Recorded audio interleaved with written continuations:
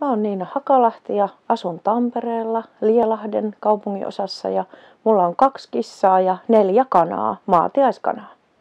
Eläimet ovat opettaneet läsnäoloa, hetkessä elämistä, tähän hetkeen keskittymistä. Eläimet antavat myös valtavasti iloa, mielihyvää ja kaikenlaista naurun aihetta joka päivä. Mukavinta eläinten kanssa on kaikenlainen stressitön tekeminen, ihan vaan yhdessäolo, kaikki arkiset puuhat, eli ei mikään varsinainen harrastaminen, en haluaisi kissa agilityö tai kana agilityö, vaan ihan vaan tällainen ruokinta, lähelläolo, syli, kissa sylissä, joskus kana sylissä, se on parasta.